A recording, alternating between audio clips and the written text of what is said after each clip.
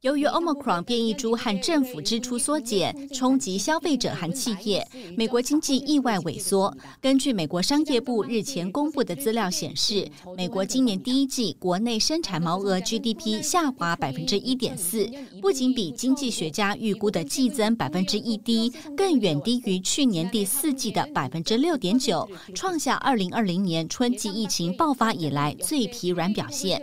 GDP 突然萎缩，令许多人担心。美国会出现经济衰退，但美国总统拜登却不感到忧心。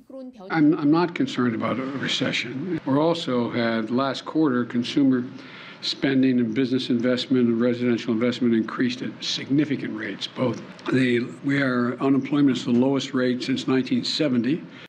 尽管 GDP 下滑，但美国消费支出稳健，企业设备投资急剧升高，这让今年第一季扣除贸易、存货和政府支出的国内需求指标，比去年第四季度增长百分之二点六。因此，多位经济学家认为，美国整体经济可望自第二季起恢复温和成长。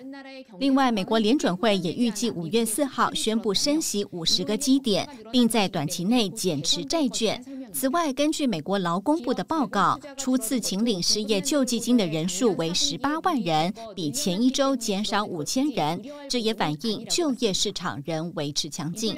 装设综合报道。